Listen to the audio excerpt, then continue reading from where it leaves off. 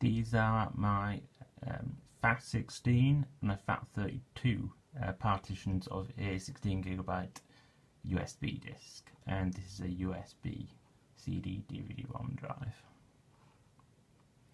So we're going to go to settings of a newly created uh, virtual machine, go to USB, enable, and then we're going to go to this USB with a plus on it and that's the CD DVD ROM and that is my USB disk.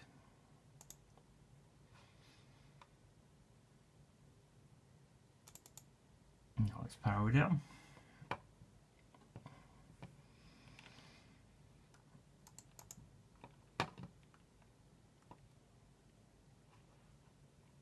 Bit slow this computer. It's an Intel Atom.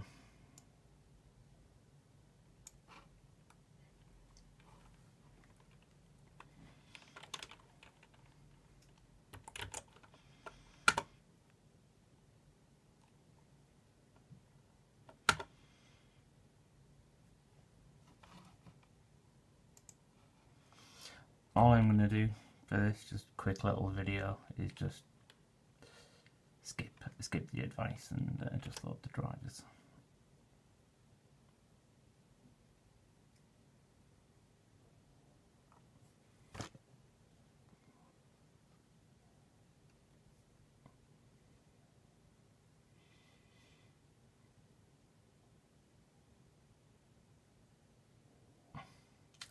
So we have, oh, sorry, some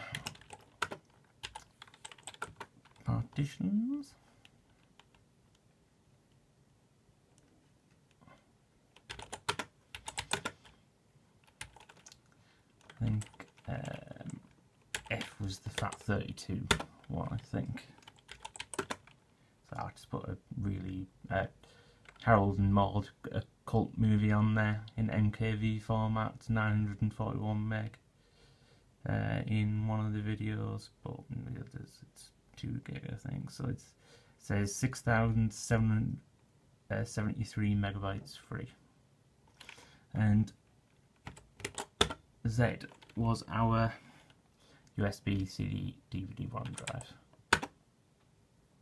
So it spins up, mm, there we go and this is one of my um, older versions of the MS-DOS 62 uh, Windows 3.1 one install except uh, it now comes in English, German, French and Italian.